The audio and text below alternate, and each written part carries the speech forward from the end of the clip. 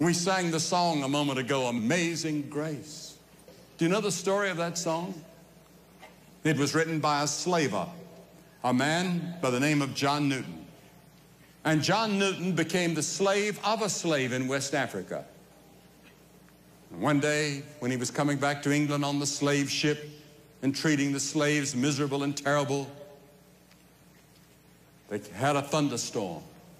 And he fell on his face and he remembered some scriptures that his mother taught him when he was a boy.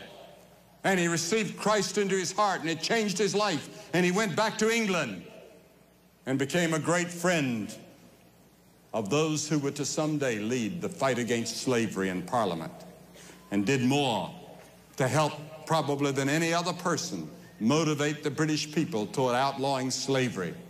He himself became the minister of an Anglican church. He himself wrote many hymns. And that was one of the hymns he wrote, Amazing Grace. How sweet the sound. I don't deserve it.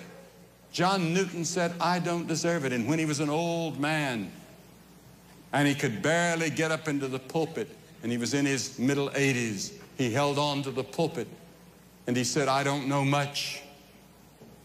But he said, I do know this, that I'm a great sinner and I have a great Savior. And John Newton left his mark for God after being a terrible sinner.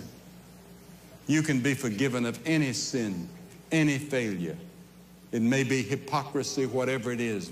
But tonight you'd like to make sure.